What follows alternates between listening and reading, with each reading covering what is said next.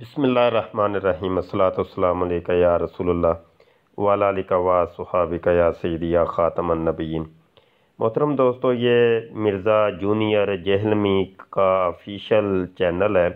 اس کے اوپر یہ ایک پوسٹ لگی ہے جناب۔ پوسٹ کا ٹائٹل دیا جی حضرت رابعہ بصری اینڈ حضرت ابراہیم ادم کا عجیب و غریب حرکتوں والا حج کا سفر۔ لیں جی ان کو تکلیف ہو گئی ہے اولیاء اللہ کے حج کرنے کے اوپر بھی۔ اور یہ تذکرۃ الاولیاء شبیر برادر شیخ فرید الدین اطار رحمۃ اللہ تعالی علیہ کی مصنفہ صفحہ نمبر چوالیس ہے۔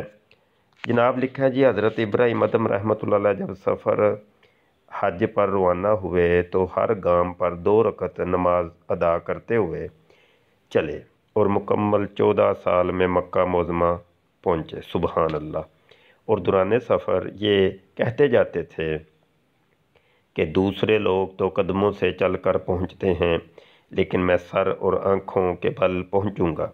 جب مکہ میں داخل ہوئے تو وہاں خانہ کعبہ غائب تھا۔ چنانچہ آپ اس تصور سے آپ دیدہ ہو گئے کہ شاید میری بصارت زائل ہو چکی ہے۔ لیکن غیب سے ندا آئی کہ بصارت زائل نہیں ہوئی، بلکہ کعبہ ایک ضعیفہ کے استقبال کے لیے گیا ہوا ہے۔ اچھا یہ نیچے پھر ایک ہائی لائٹ عبارت ہے۔ سال حج کا زمانہ آیا تو فرمایا، گزشتہ سال تو کعبہ نے میرا استقبال کیا تھا اور اس سال میں اس کا استقبال کروں گی۔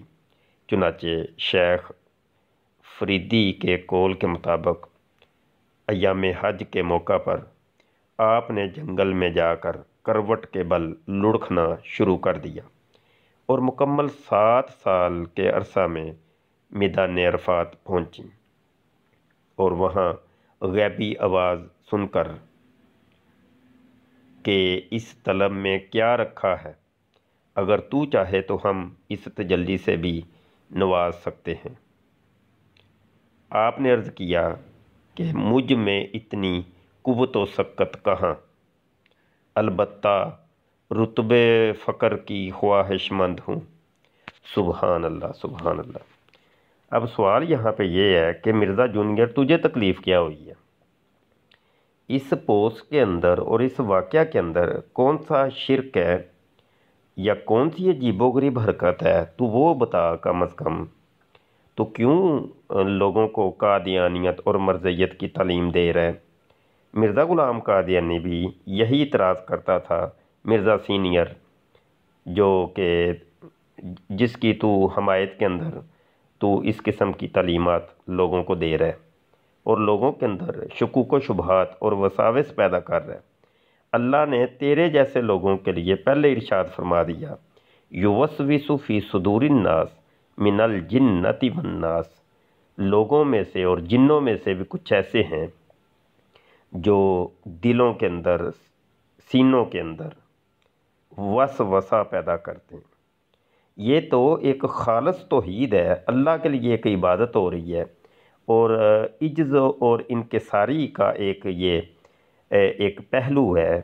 تو اس کے اوپر بھی تجھے اب تکلیف ہو گئی ہے۔ اسی لیے تو کہتا ہے بابوں کا خدا کوئی اور، کتابوں کا خدا کوئی اور، کہ لوگ خوشو و خدو جو عبادت کے اندر کرتے ہیں، جو بابے، جو بزرگ، جنہوں نے اللہ کو منانے کے لیے، اللہ کو راضی کرنے کے لیے اتنی عجز اور انکساری کے اندر اپنی عمریں گزار دیں۔ تو لوگوں کو یہ کہنا چاہتا ہے کہ نہیں، عجز اور انکساری کے ساتھ عبادت مت کرو، یا اللہ کے آگے اکڑو غرور اور تکبر دکھاؤ اور اولیاء اللہ سے لوگوں کو دور کرو۔ یہ چاہتے ہو کہ اللہ نے تو ان لوگوں کے بارے میں کہا تھا اللہ انا اولیاء اللہ لا خوف علیہم ولاحم یحزنون۔ کہ یہ تو وہ ولی اللہ ہیں کہ جن کے اوپر کوئی غم، خوف، فکر نہیں ہوتا۔ اور حدیث قدسی ہے جس کا مفہوم ہے کہ جس نے بھی اللہ کے ولیوں کے ساتھ، اللہ کے دوستوں کے ساتھ، اللہ کے بندوں کے ساتھ، ان بابے اور بزرگوں کے ساتھ بغاوت کی تو اللہ پاک ان سے اعلان جنگ کرتا ہے۔ اس اس واقعے میں کون سی تجھے تکلیف کیا ہوئی ہے؟ اور جسم کے کس مقام کے اوپر تکلیف ہوئی ہے؟ وہ بھی بتا ذرا۔ تجھے کھجلی جو ہو رہی ہے، جو خارش ہو رہی ہے وہ خارش کم از کم تو بتا کہ تجھے کون سی خارش ہے۔ تو ایک ایسا خارش زدہ کتا ہے کہ جس کی زبان اتنی لمبی ہو گئی کہ بس مرزا سینئر قادیانی سے بھی تو چار ہاتھ آگے نکل گیا۔ مرزا جونیئر، تو بتا تو صحیح نا کم از کم، آمنے سامنے تو آتا نہیں ہے۔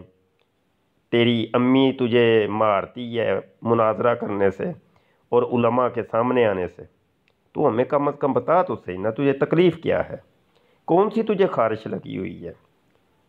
اس اس واقعے کو کوئی بھی ایک صاحب شعور اور عقل مند بندہ پڑھ کے وہ یہاں سے آئیڈیا لگا سکتا ہے کہ نہ تو قرآن نے منع کیا، نہ حدیث نے منع کیا۔ قرآن و حدیث میں کہیں بھی نہیں کہ نہیں، اس طرح کسی نے حج نہیں کرنا جی۔ اس طریقے سے کرو گے لہٰذا وہ شرک ہو جانا ہے۔ وہ کفر ہو جانا ہے اور بابوں کا خدا کوئی اور ہو جانا ہے۔